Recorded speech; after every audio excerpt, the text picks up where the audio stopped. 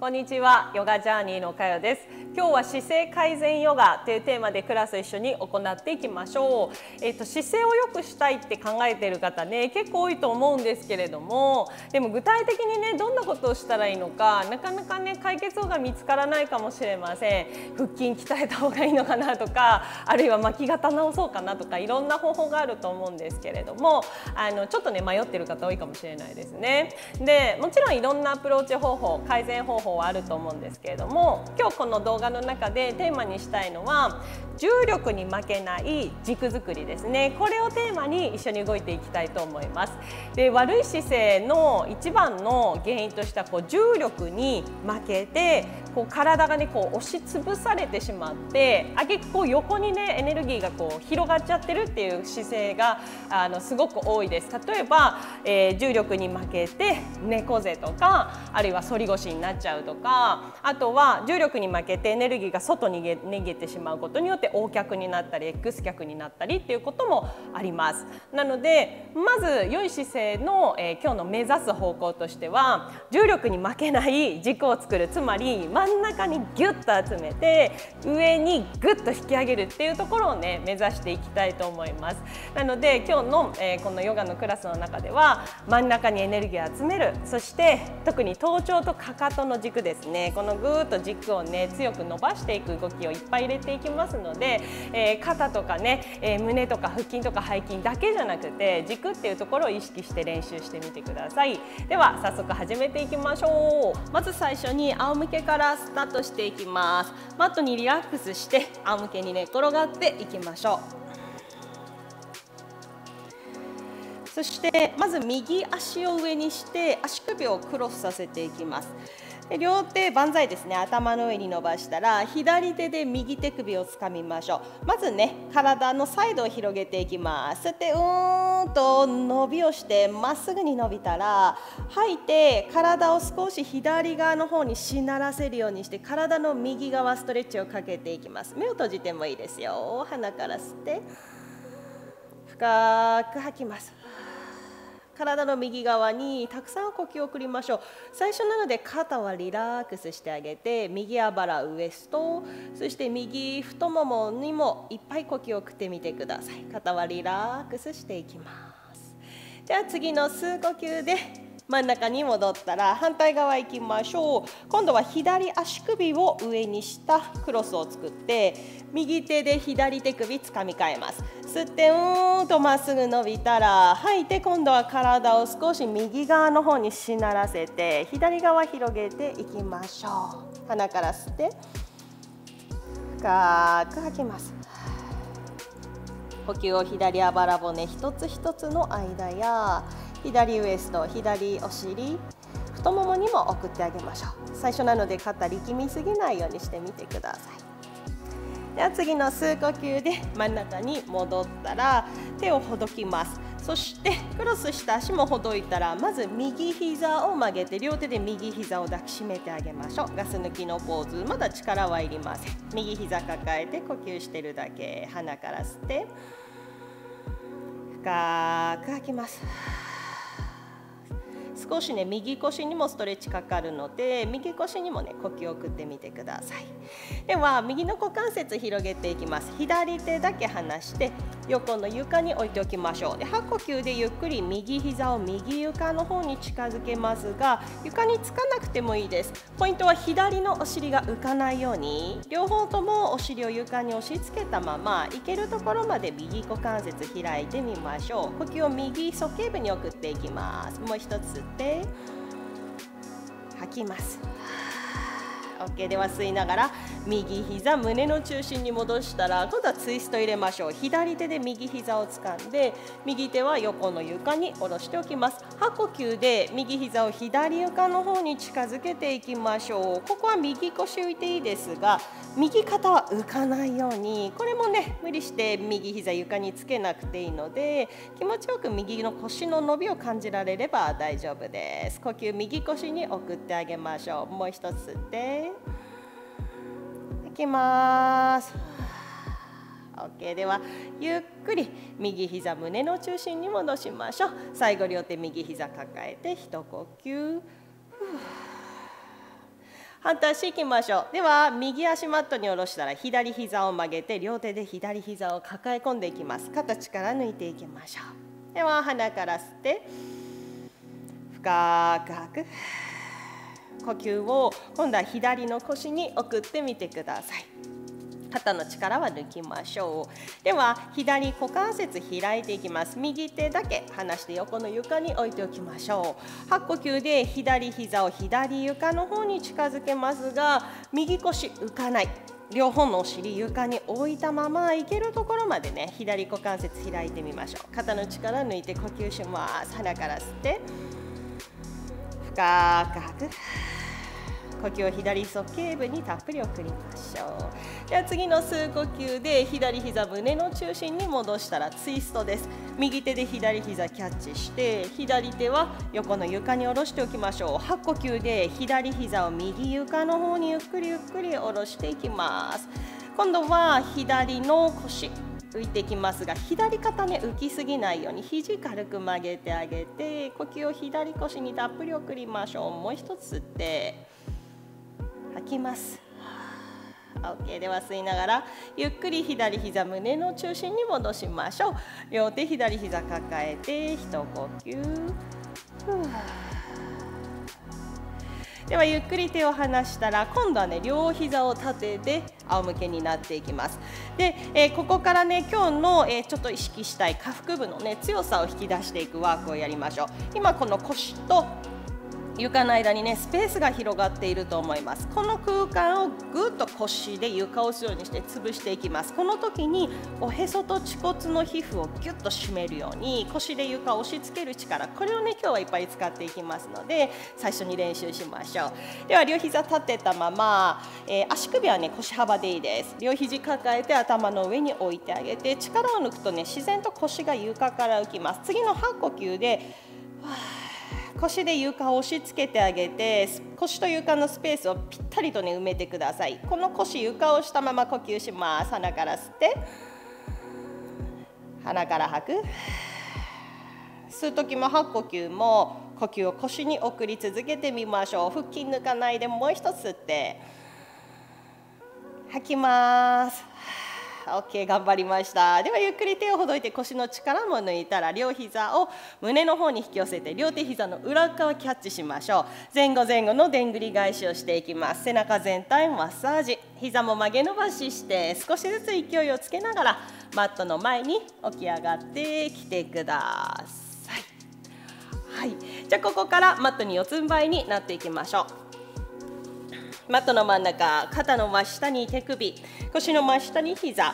で最初につま先立ち作っておきます。え今日アームバランス結構入りますので最初に手首のストレッチ入れていきましょう。片手ずつ手の指先を外から後ろに回していきます。指先を自分の膝の方に向けてあげて肩の真下に手首のポジションは変わりません。で肘が前にぐきっと出ないようにね肘痛める原因にもなりますので肘は軽く曲げたまま肩と耳は離してあげてください。ではここから肩を、えー、左右3回ずつ回していきます。ゆっくりいきましょう。まず右回し3周ゆっくり回していきます。で肘軽く緩め上げて手首は浮かないようにねゆっくりゆっくり回してみましょう。でもしね痛いなーっていう場所があったら、えー、肩で回す円のサイズ少し小さめにしてあげていいのでね。痛くならないようにでもゆっくりゆっくりね手首ストレッチ入れてあげましょう。では左回し3周もいきます。ゆっくりです。一つ一つの角度味わってあげて、えー、肩力まないようにそしてゆっくり呼吸を続けてみましょう、え人によってはね痛い角度あると思いますのでそこは無理しないこと。肩で回す円のサイズをね少し調整してあげてください。はい左回し3周。終わったら片手ずつ手の指先正面向きに戻してみてください。でもう一度ポジション確認。肩の真下に手首です。で手のひら大きなパーにしてあげて人差し指が正面です。指先少し外向けて脇の下キューッと体温計挟むように締めておきましょう。ではキャットカウで背骨に波を起こします。次の吸う呼吸ゆっくりお腹下げて目線正面顎を軽く引きます。肩と耳を離して胸を前に開く。吐いて背中丸めましょう。尻尾のねぎゅーっと下向き両手マットプッシュして肩甲骨の間開きます。もう一度吸ってお腹下げます。目線正面首長くして。吐いて背中丸めましょう。尻尾の骨下向き両手マットプッシュ。もう一度吸ってお腹下げます。目線正面首長く。吐いて背中丸めます。尻尾の根ぎゅーっと下向けて。では吸う呼吸でもう一度ね四つん這いのポジションニュートラルに戻っていったら脇を締める。そして顎を軽く引いてしっかりおへその下引き込んでください。体幹をねここから強くしていきましょう。このまま右足を後ろに蹴り出します。足首90度。右太ももは床向きです。上ではなくてね右足は床と平行。お尻のほっぺたぎゅっと締めて股関節締めましょう。そして左手前に伸ばします。顎軽く引いて目線マット。おへその奥引っ込めて鼻から吸って。深く吐きます。手足で耐えるんじゃなくておへその奥引っ込めた体幹でね支えましょう。もう一つ吸って。吐い。て左手右膝マットに下ろしましょうでは反対側も行きましょう脇の下締めるおへその奥引っ込めて体幹強くしたままゆっくり左足を伸ばします左足の鼠径部が床向きですお尻のほっぺたキュッと締めてそしてね左足のつま先も床向きに変わっていきます右手は前に伸ばしていきましょう顎軽く引いて肩すくめないように鼻から吸って鼻から吐く体幹から伸びる右手左足のね強い軸を感じていきましょう。もう一つ吸って吐い。て右手。左足マットに下ろしましょう。では今度左膝だけ伸ばしてつま先ちょっと床に置いといてください。で右膝90度外に回し左足土踏まずマット。次の吸う呼吸で左手横から持ち上げて胸目線空です。で吐いて左手頭の向こう側手のひら下向きに変えて体のまず左側ね虹のアーチ作りましょう。肩リラックス吸って胸を開いて。吐いて軽くお尻締めていきます。体の左側で虹のアーチ作っていきましょう。ではここからサイドのバランスチャレンジしていきます。次の吸う呼吸左手真上。空触るようにぐっと伸ばしましょう。で吐いて腹筋入れて左足アップ足首90度顎を引きます。で最初に言ったおへそと恥骨の距離をぐーっと締めるように各部締めて頭上かかとに軸作りましょう。もう一つ吸って吐きます。OK では左手左足マットに戻し右膝も元に戻したら反対側です。今度は右膝だけ伸ばしてつま先ちょんと置いときます。左膝90度外に回し右足土踏まずがマット。次の吸う呼吸右手横から持ち上げて胸目線空吐いた頭の向こう側手のひら下向き吸って胸を開いていく。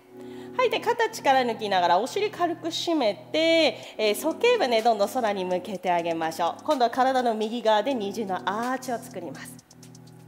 ではバランスいきましょう。次の吸う呼吸右手空つかむように上に伸びますで吐いて腹筋入れて右足足首90度お尻軽く締めておへそと恥骨のね。間の皮膚をぎゅーっと締めるように各部使いましょう。顎を軽く引いて頭ゴロッと落ちないようにキープします。頭頂かかとの軸作ってもう一つ吸って吐きます。ではゆっくり右手右足マット。左足も元のポジションに戻していった。らつま先立ちのチャイルドポーズ入れましょう。お尻かかとの上おでこマット。ここはね肘しっかり伸ばしてあげて手のひらパーです。肩はリラックスして脇の下マットの方向けましょう。一度背中から吸って口から吐きます。パワフルなポーズね続いたのでここでねしっかり緊張を一回手放しておきましょう。では次の吸う呼吸でゆっくりもう一度四つん這いに戻ってきてください。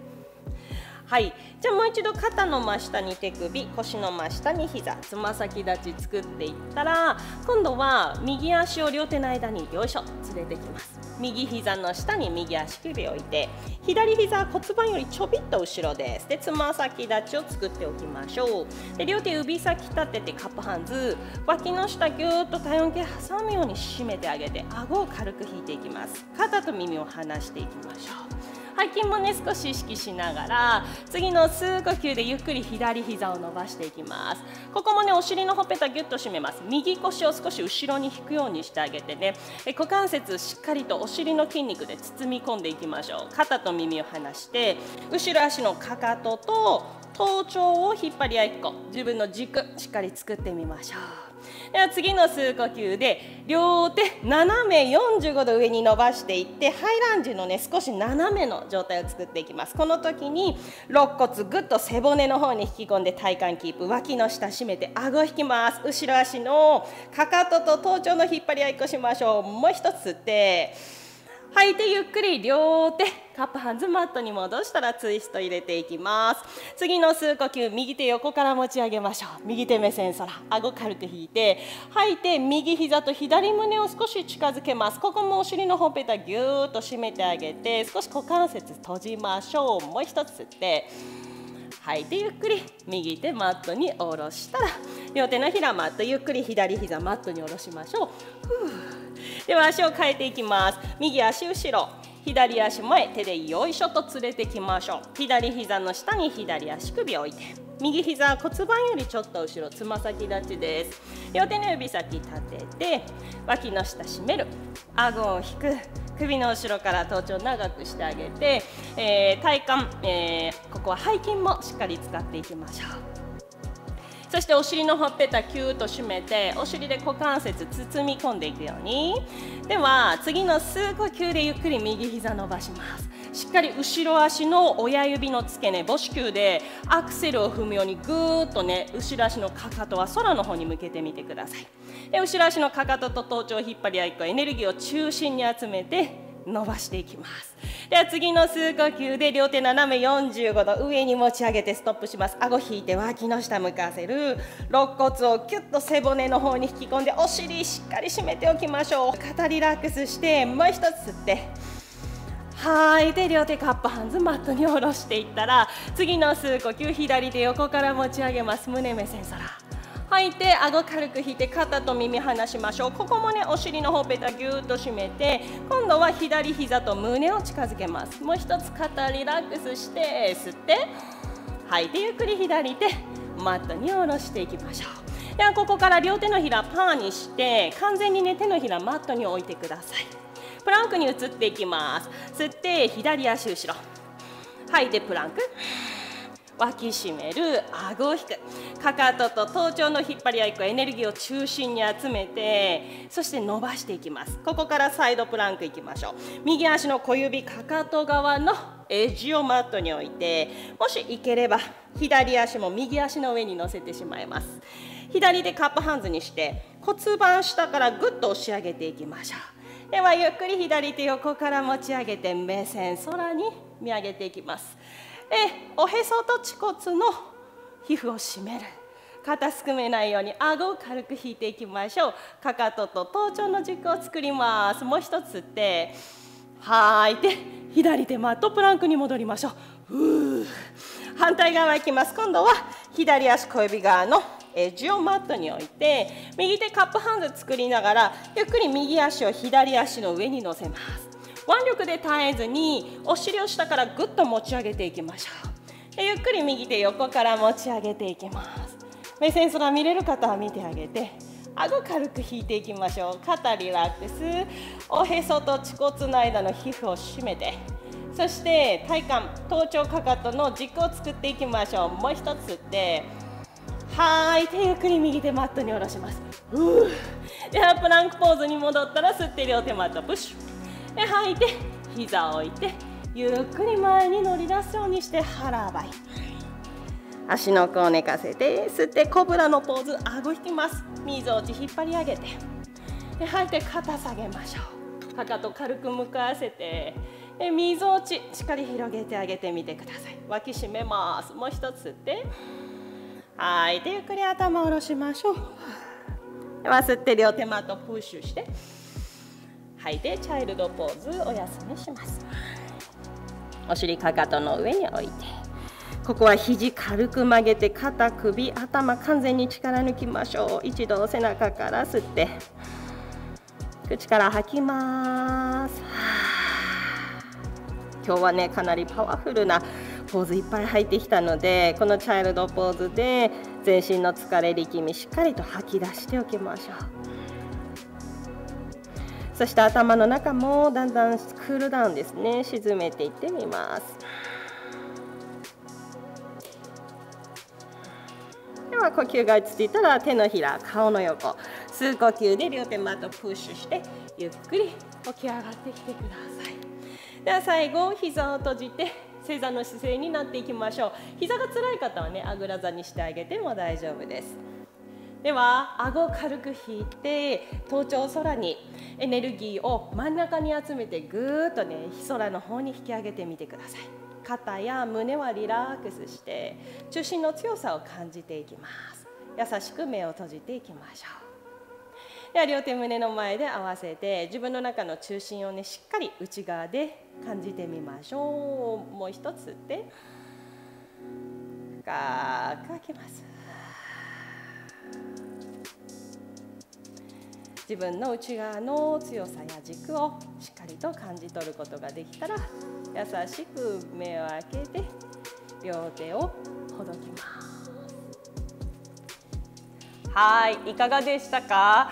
結構ね今日は短い時間の中に、えー、体幹を意識するようなきついね ポーズもいっぱいあったと思うんですけれども、えーと、今日のテーマ真ん中にエネルギーを集めて上に引き伸ばす、えー、軸を長く伸ばしていくっていう動き少し意識できたんじゃないかなと思います、えー、もちろんね、え1日や1回のこの練習ではなかなかうまくいかないと思うんですけれども定期的にこの動画の練習続けてもらえたら嬉しいです。では今日の動画ここまでにしましょう。また次の動画でお会いできたら嬉しいです。ありがとうございました。